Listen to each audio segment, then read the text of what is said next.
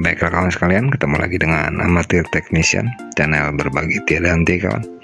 Kali ini kita punya kasusnya Yamaha Soul GT 125. Lampu indikator kuning nyala dan motornya berbet di tarikan atas ya kawan. Baiklah kawan, saksikan penanganan ini biar tidak penasaran dan salah paham ya kawan. Di sini saya menggunakan FI diagnostik via laptop ya kawan. Di sini saya coba untuk mengecek gejala kerusakan dari mana ya kawan.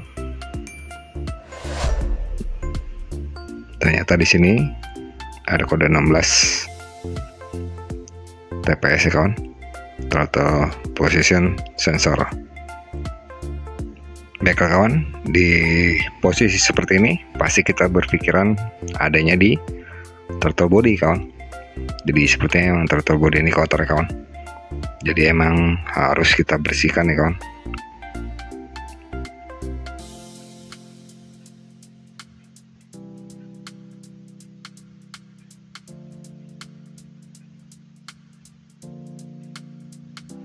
Adapun saat setelah selesai dibersihkan dan setelah dipasang kembali lampu indikator tetap menyala dan motor masih berbet ya kawan.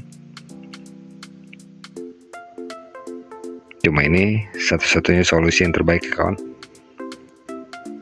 Coba cek bagian ecunya ya kawan.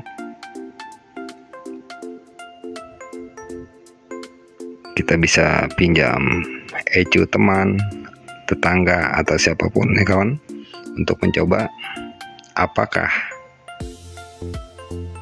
kendala dari lampu indikator dan berebutnya hilang ya kawan. Di sini saya langsung mengganti dengan ecu baru ya kawan. Sesuai dengan kode motornya ya kawan.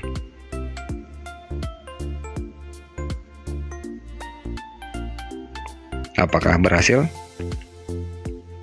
sudah pasti berhasil ya kawan. Jadi kendalanya bisa terselesaikan ya kawan.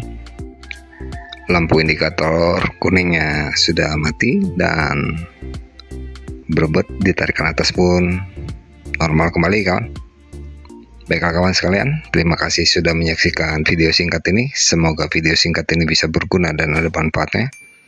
Sampai ketemu lagi di video-video amatir technician selanjutnya salam berbagi tiada henti kawan.